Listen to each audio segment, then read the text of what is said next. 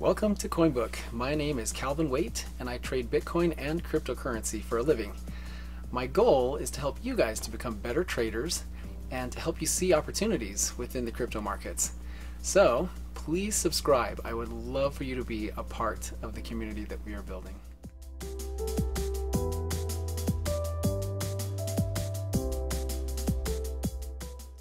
So, we are still in the green zone we have our 50 above the 100. All of our uh, trend lines are in alignment. Everything looks good there. Um, I'm going to go ahead and remove some some noise off of our chart. We have we uh, had a discussion about this green zone here that uh, a long time ago when we got down in here I was really excited because this was the drop we needed to get support and that there was no way we were coming out of this thing. And we're pretty much so far into this green zone here that uh, I just don't expect that we'll touch it again. Uh, we've we've been above 10,000 for a long time, and uh, it's not really something that's gonna be really applicable uh, nowadays. This was a shorter term trend. We were just watching to see when this would break, and it's broken, and I don't see it providing any more support than our very long term line here and this high. So these are probably our more important lines left. This bottom one is our giant three-year descending wedge that we broke out of. so I don't expect that we'll ever touch this again, but I guess we'll leave it on for fun. Um, so I wanted to tell you guys, uh, for those of you who have been uh, listening to the channel for weeks, probably longer than weeks, but I've I've just mentioned that uh, we will have a hard time crossing 14,000. There's just and it it was because of the monthly monthly chart where we have the the candle bar, bodies of our monthly here and we have our very tip top uh, that found resistance right here. well, guess where we're going to find a little bit of trouble? It's going to be right here. So last night uh, to prove to you guys that um, not just all all talk and no action. There were uh, every every month I sell a little bit of crypto to pay for the monthly bills, and I knew that we were getting close, so I went ahead and put in a sell order at what do you think? At 13,880. I thought that we might exactly hit that point. Now, as you can see, our high was 13,864 and 89 cents. so I put that order in in the morning and I waited probably 12 to 14 hours for it to uh, close and we we just played played in that ballpark. I, saw when we were $30 away and saw when we were um, within $80 of closing right up here in this 13.8 land. And then um, just knowing that we had a, a solid attempt and guessing that we were close enough that the 13864 was essentially going to be the same resistance that the 13880 was going to provide. Like we were just the the margin was within thousandths of a percent of us hitting that resistance. So I went ahead and uh, made my sell at 13750 so I it did drop a little bit, but I took profits here. And then went to bed and woke up and we were at 13,000. so I'm I was not surprised. I knew time in this area is limited. We do not play with giant long long-term resistance for long. So if I switch back to the hourly, you can see how short we were the high of this candle here, the the preceding candle. The high of this was 13750. We had an we had a 1 hour bar that got us there and we were back down.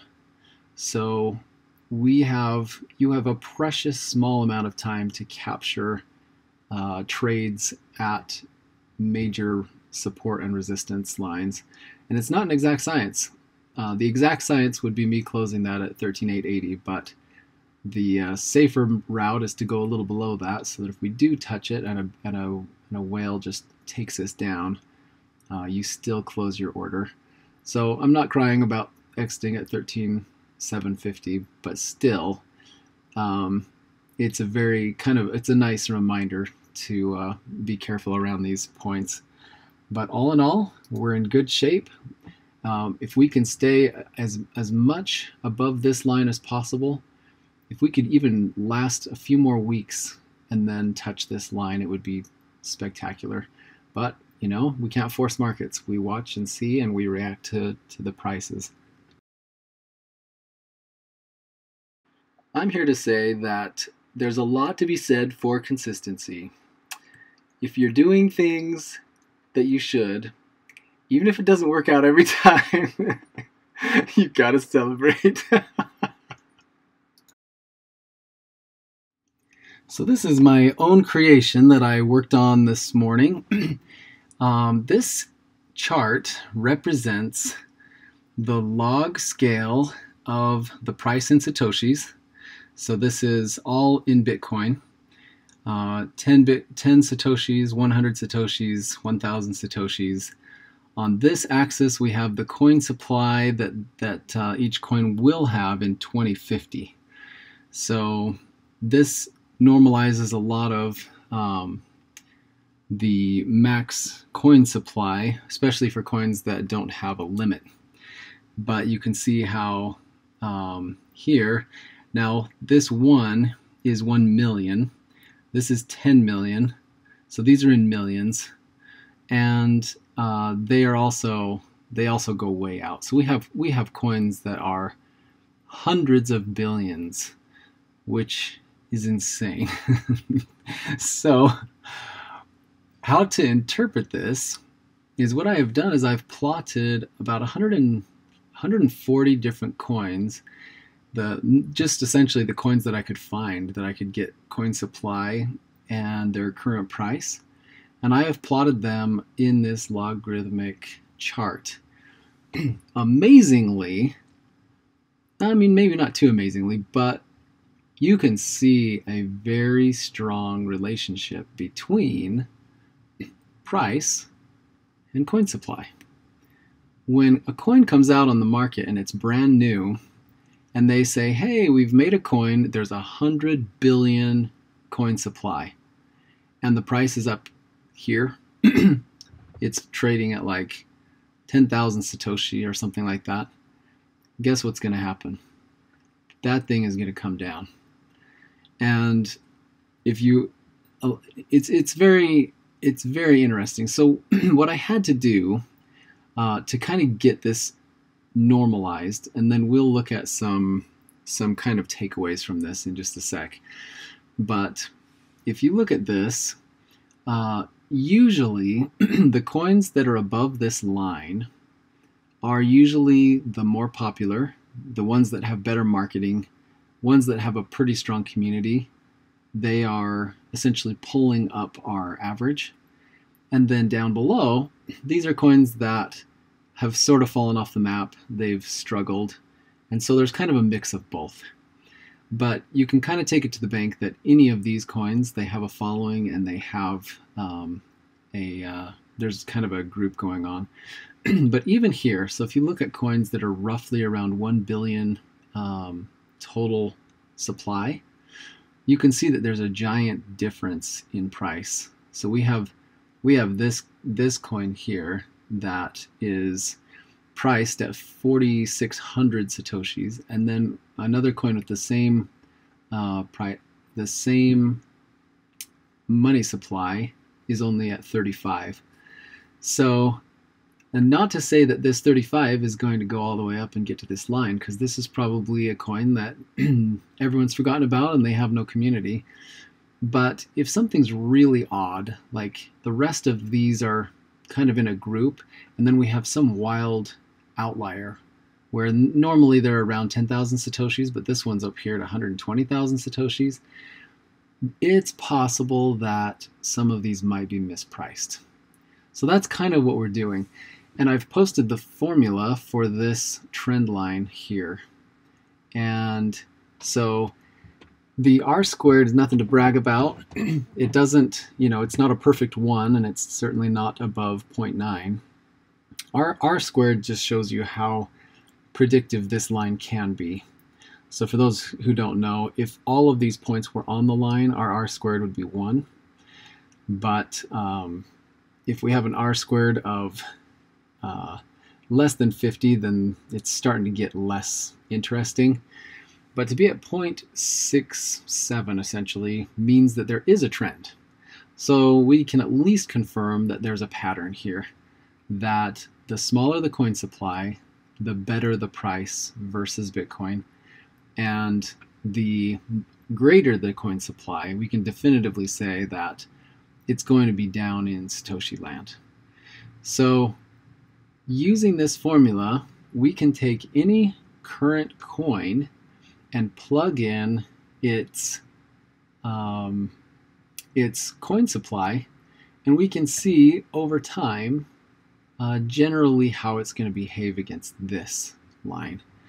Now, this is also based on today's today's prices. So today is October 28th of 2020.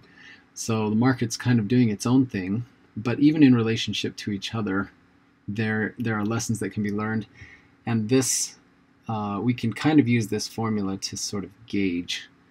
So now I'm going to move us over and we're going to take a look at some results. So I did this all in Excel because I'm an Excel nerd.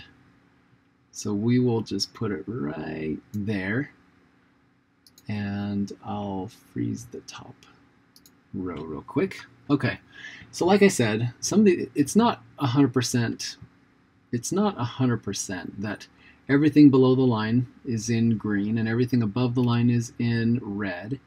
But you'll notice that a lot of these coins that are above the line are uh, more popular coins. They actually have a following. There's there's marketing. There's a lot more going into it. So we can't just take these these two the coin supply and the price and just absolutely definitively predict what the price should be. So there's a definitely a margin of error, but there are some coins that um, are a little bit interesting. So what I did is I took the relationship between the high and the low and just made a, a ratio to see which ones were extreme. So our most extreme is Atom. The reason why it's 2.2 billion coin supply and it's trading at 36,000 satoshis. Anything on our line mean anything with this type of coin supply should be trading at around 405. So this is our most extreme example. So it's very likely that Atom is overpriced and that it might be coming down. See, these these are some coins that no one's ever heard of. So this is also in our in our mix. So there's we're not going to sit and buy R, or whatever that is, thinking that it's going to go up 20 times. that's that's not the purpose of this. But there are cases where um, some questions can be answered. So a question that I have had is on the news all the time. We see VeChain. VeChain has always, you know, they have a ton of following, they have a huge community, they have an interested group, but for some reason they just can't keep their nose above 100 satoshis. I mean, we've struggled. Um, I've, I've charted it out before, and that is definitely a, a switching point, that 100 satoshi section.